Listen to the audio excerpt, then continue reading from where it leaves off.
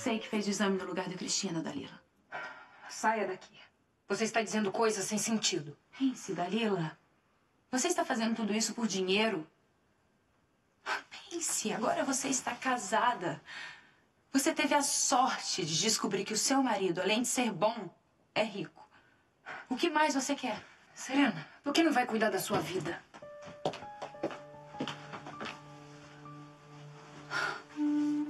Estou falando da felicidade do Rafael. Diga, Dalila. Está fazendo tudo isso por dinheiro?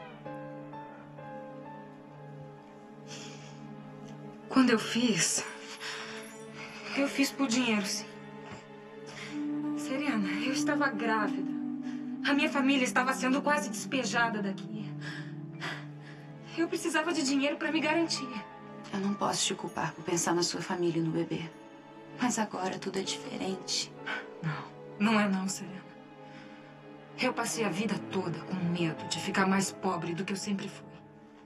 Com medo de não ter o que comer. Agora, então, com a minha filha. Esse medo é maior ainda. E tem mais, o Roberval, ele nunca tem, Roberval.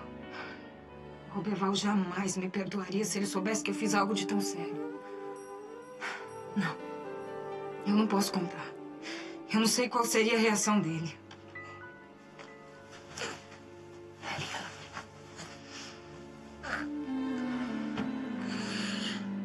Dalila, você está com medo de perder o Roberval porque está apaixonada por ele?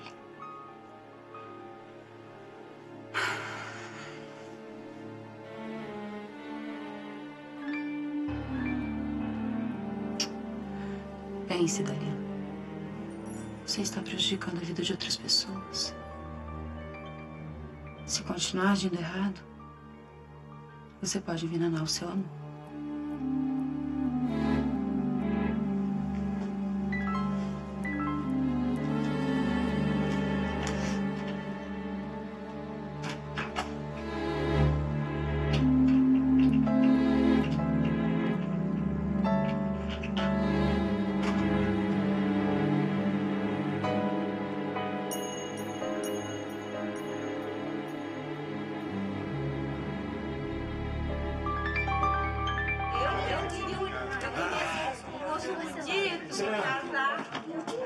Ficou tanto tempo conversando com a Dalila. O que tanto conversaram? Você tem sorte, Roberval. Saiba de uma coisa, a Dalila gosta muito de você. Mais do que pensa.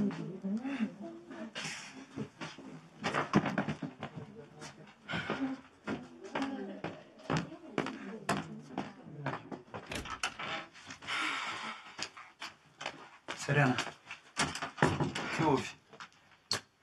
Cristina e a mãe dela inventaram uma armadilha para desmoralizar o doutor Eduardo. O Rafael não acreditou em uma só palavra que ele falou. E agora? A única forma de fazer o Rafael acreditar é convencer a Dalila de contar a verdade. Mas ela não quer. Eu vou falar com ela. Não, não podemos obrigar a Dalila. Ela tem que cair em si. É, mas eu conheço a minha irmã. Ela é teimosa.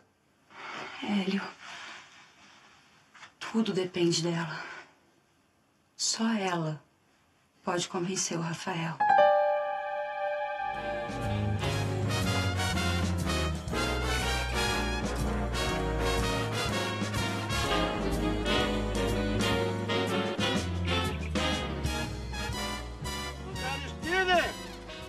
José Aristide! Vem ajudar eu a descarregar a carroça. Chegou o veneno. O veneno que nós pedimos para acabar com as formigas cortadeiras. Ainda bem, porque elas estão atacando as roseiras. Ah, com veneno, logo, logo as roseiras ficam livres das formigas. Logo, logo.